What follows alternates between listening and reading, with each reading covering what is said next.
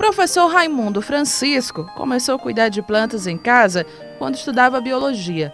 Se tornou uma paixão desde a primeira planta, há cinco anos atrás, até agora, que são milhares. Em todos os cantos da casa é possível ver o verde. Ao lado da garagem ficou um espaço para receber visitas. Na sala de estar, um jardim de inverno.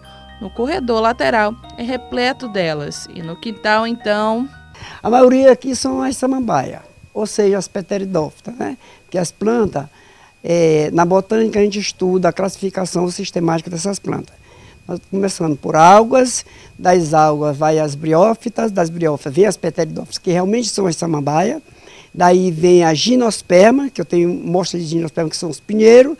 E as angiospermas são as plantas, todas as plantas que botam flores, não importa o tamanho delas. Né? Mas tem flor, já é uma angiosperma. Para a dona Fátima Pedra, as plantas são companhias. Ela também tem jardim de inverno, cultiva árvores frutíferas no quintal e aproveitou as paredes da garagem para fazer um jardim horizontal com jarros bem coloridos que dão mais alegria ao ambiente. Eu acho que tudo que a gente tem deve ter amor e carinho. E tudo que é bem cuidado tem que ter o zelo. Elas, eu cuido muito delas, converso quando eu chego, às vezes à noite, eu estou sem ninguém para conversar, vou conversar com minhas plantas. Apesar da correria do dia a dia, é possível ter um jardim que não é necessário regar frequentemente. Nem é mais preocupação se a casa é pequena. Todo o espaço pode ser aproveitado.